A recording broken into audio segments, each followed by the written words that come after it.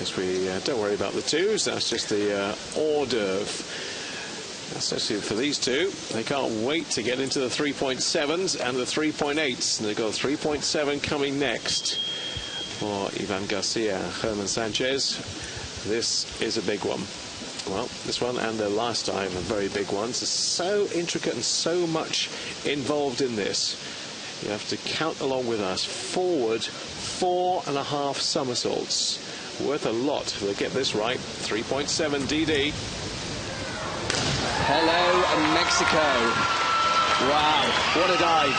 3.7. Lots can go wrong. Forward four and a half. Spotting the water. There we go. Look at that. I don't think it's worth a perfect 10, but that is going to be huge.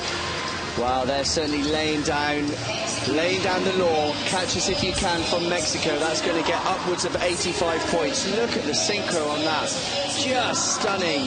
Wow, just a little bit further away from the diving board there, but apart from that, that is superb.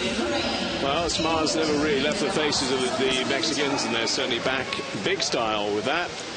88.8.